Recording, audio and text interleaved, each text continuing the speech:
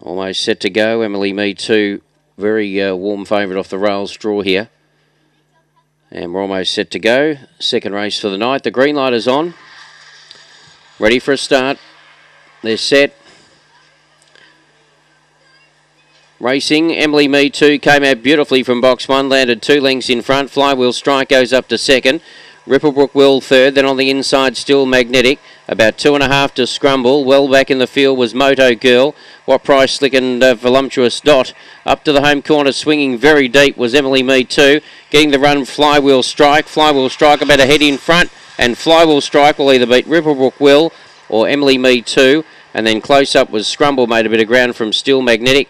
Wellback was what price slick Moto Girl Voluptuous Dot, and the runners around 22.99.